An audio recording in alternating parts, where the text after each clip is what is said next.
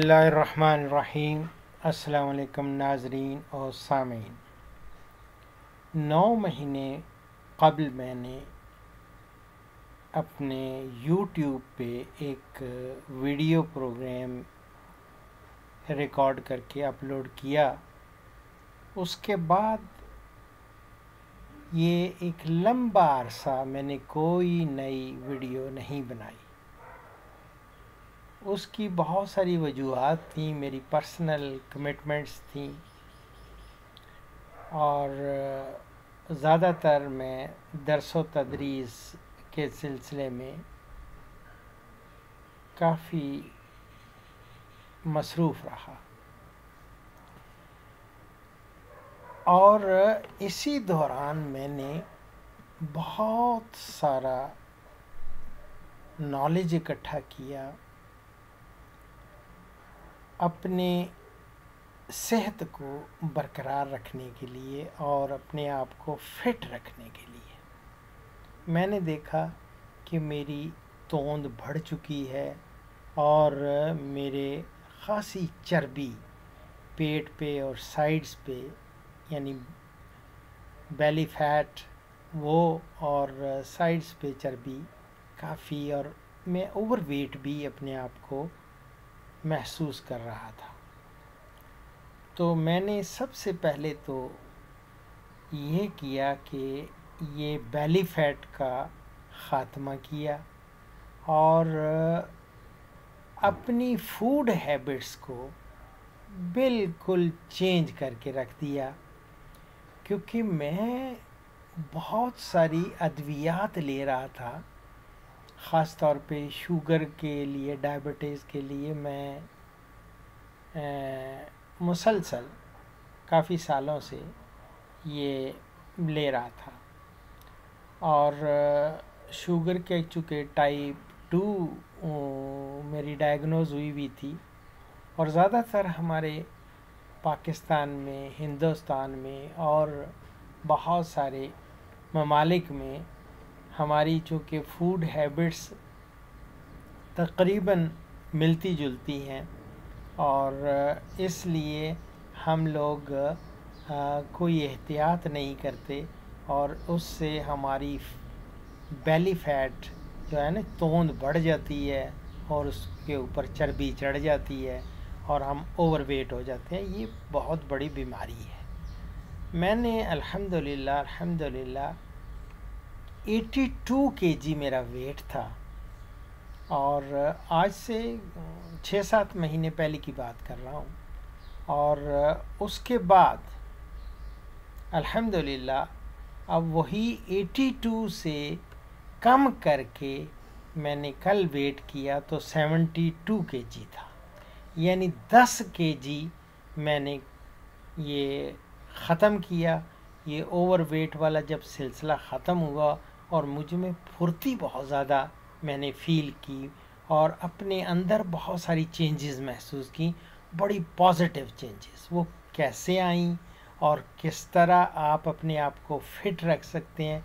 सबसे पहला काम ये है कि आप अपना वज़न जो है वेट उसको कम करें। और वेट कम करने के लिए और ये तोंद जो बढ़ी हुई हैं, जब भी हम एक दूसरे को बगलगीर होते हैं तो बाकायदा पहले पेट अगले को लगता है। वो बड़ी हुई तोंद जो है, और पंजाबी में वो कहते हैं टिड्डो मिलता है। तो वो पेट मिलते हैं सबसे पहले, फिर बाद में छाती मिलती है। तो ये बड़ी बदकस्मती है। और ये हमारी सारी फ़ूड हैबिट्स का नतीजा है। और अब रहा कि ये फ़ूड है, ये ख़ास तौर पे तोंद को किस तरह कम करना है और वेट को किस तरह आपने कम करना है। उसके लिए मैंने एक नुस्खा आपको दे रहा हूँ, जो एक कप पानी का आपने गरम कर लेना है और इसी तरह एक और भी, जब पानी गरम करेंगे बॉयल बेशक कर लें और उसके बाद उसको एक कप में डाल लें और वही बॉयल्ड वाटर जो है उसको एक गिलास पानी का भी एक वो भी भर लें। जो ही वो थोड़ा पीने के काबिल हो थोड़ा आ, कम गर्म रहे तो यानी पीने के काबिल हो उसके अंदर आपने क्या करना है एक चम्मच जो छोटी टी स्पून है वो छोटा चम्मच वो आपने हल्दी का डाल देना है। और इसी तरह आपने दो इंच जिंजर यानी अदरक वो ले लेनी है और उसको छील के आप उसके चॉप करके उसका जूस निकाल लेना है। जूसर है ना जिस तरह, जिसमें आप गाजर का जूस निकालते हैं, इसी तरह उसके अंदर आप करेंगे एकदम वो उसका जूस निकलेगा। और वो टेबल स्पून। एक बड़ा चमचा जो चा, चावल खाने वाला होता है उसको टेबल स्पून कहते हैं। वो एक टेबल स्पून आपने वो उसके अंदर कप में डाल देना है गर्म पानी में। वो और उसके बाद एक चुटकी भर एक चुटकी लेनी है थोड़ी सी यानी काली मिर्च पिसी हुई काली मिर्च हर किचन में होती है वो आप उसमें वो डाल देनी है। वो आपने पी लेने हैं। और उसके बाद, थोड़ी देर बाद, जो ग्लास में आपने पानी गर्म किया हुआ है, उसमें एक या दो लीमू लेमन जो हैं, वो आप काट के वो उसके अंदर निचोड़ लेने हैं। और, इसके बाद आपने लहसुन, यानी गार्लिक गार्लिक के आप एक जवे से शुरू करें, तीन जवे तक। आप वो छील लें और उनको क्रश करें, थोड़ा सा क्रश करके वो आप पहले मुँह में वो निकलें और साथ ही ये पानी जिसमें आपने लीमू निचोड़ा हुआ है, ये गर्म पानी, नीम गर्म हो तो पीने के काबिल जब हो तो ये आप पी लें। ये आपने कोई मैं समझता हूँ को दो तीन महीने करेंगे तो आपकी, आप देखेंगे वेट भी कम करना शुरू हो जाएगा और इसके बाद आपका बैली जो है, उस पर जो चर्बी चढ़ी हुई है, वो भी ख़त्म होनी शुरू हो जाएगी, बल्कि ख़त्म हो जाएगी।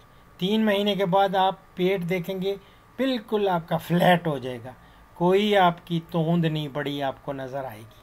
आप स्मार्ट नज़र आना शुरू हो जाएँगे। ये एक पहला एक है, मैं समझता हूँ, ये इब्तदा में ये करें, इसके बाद मैं आपको इन डिटेल्स में बताऊँगा कि कैसे शुगर को कंट्रोल किया जाए और ब्लड प्रेशर को कैसे कंट्रोल करना है कोलेस्ट्रॉल को कैसे कम करना है मैं जो अद्वियात लेता था, मैं बिल्कुल कोई दवाई नहीं लेता।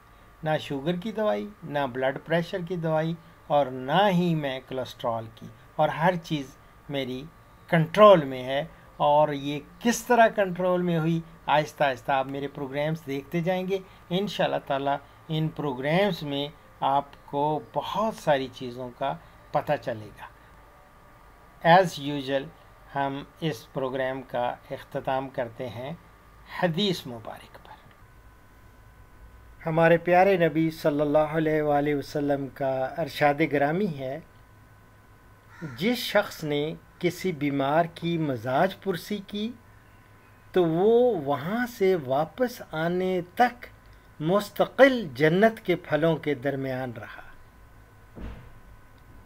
ये मैं मुस्लिम से कोट कर रहा हूँ। उनवान है मरीद की क़ियादत। और इसी के साथ डॉक्टर अशरफ साहबजादा को इजाज़त दें। इन अगले प्रोग्राम में नए मौजू के साथ और इसी एक सीरीज़ है, पूरी सीरीज़ में मैं आपको बहुत सारे इन ताला, बहुत सारी अपने तजर्बात से वो शेयर आपके साथ करूँगा। और इन उम्मीद है कि आपको ये पसंद आएँगे और जो ही आप मेरे वीडियो प्रोग्राम्स देखें तो प्लीज़ अपने कमेंट्स ज़रूर दीजिएगा। और अगर आपको कोई क्वायरी है, कोई पूछनी है, कोई चीज़ तो कमेंट्स में आप लिख दें इन ताला वो अगले प्रोग्राम में वो भी शामिल कर दी जाएगी। तो जिन लोगों ने मेरे यूट्यूब के चैनल को सब्सक्राइब नहीं किया, वो सब्सक्राइब कर लें। तो बेहतर होगा ताकि आपको फ़ौर पता चल जाया करेगा जब भी मेरा नया प्रोग्राम वही कोई भी अपलोड होगा। तो अपनी दुआओं में याद रखें, फ़ीमान ला